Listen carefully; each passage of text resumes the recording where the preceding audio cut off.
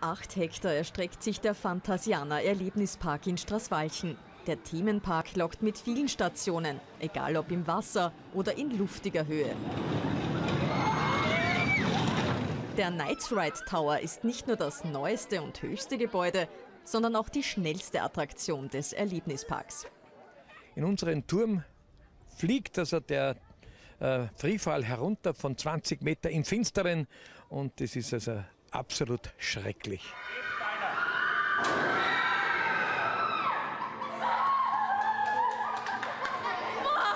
Das ist der Wahnsinn.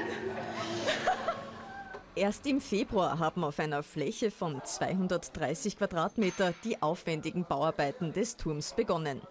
Modernste Elektronik macht Monate später nicht nur einen Höllenritt möglich, sondern auch die Sage des Ritter Tannhauser wird spektakulär umgesetzt. Ja, es sind immer so verschiedene Etagen, das fährt immer ans Hecher. In einer ist einmal ein speiender Drache, dann kommt einmal eine Schlange. Es wird so auf die Wand gebeamt und dann sieht man so riesige Schlangen. Da sind dann so kleine Schläuche, die was auf die Fiers kitzeln, da schreckt es einem voll. Starke Nerven sind im Nights Ride Tower auch bei Erwachsenen gefragt.